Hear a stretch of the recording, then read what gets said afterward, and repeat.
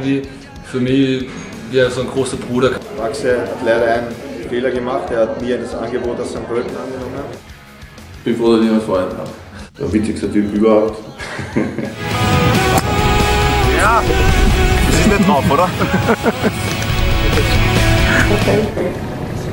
Und Doppelkinn machen wir Ich bin ein ganz geschmeidiger Typ.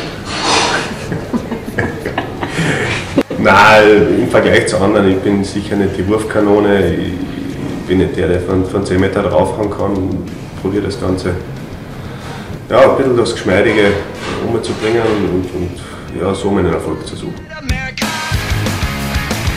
Chef.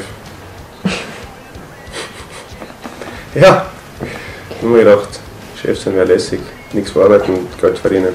Die anderen arbeiten das. Ich habe wirklich alles gespielt, also vom rechten Flügel. Das war immer so.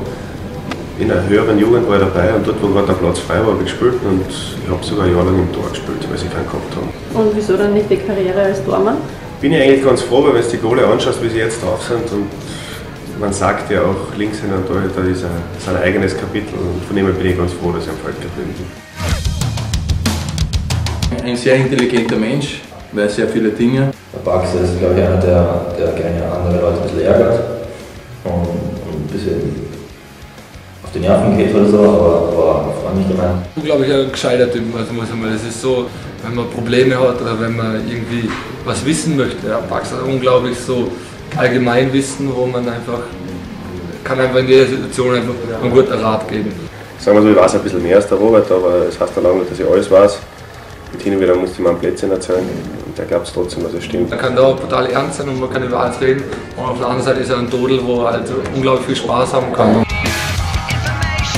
Vor ihm sie habe ich den Hut, den Hut, weil er den Beruf und den Sport so gut verbinden kann. Ich glaube, das macht nicht jeder. In seinem Urlaub ist er beim Team. Das heißt, Freizeit hat er nicht wirklich. Witzig und er ist der Einzige im Team, der nur auch arbeitet, wie quasi. Und wir unterhalten uns dann immer, wie wir lesen sie doch jetzt am Nachmittag schlafen gehen kann und dass er ein Frühstück macht. Wir hoffen, dass er das beruflich auch in Zukunft hinkriegen wird, dass sich das ausgeht und äh, wie ich schon bei, über, über Paco Völsmann gesagt habe, äh, kann ich mir auch die Nationalmannschaft auch nicht unbedingt vorstellen.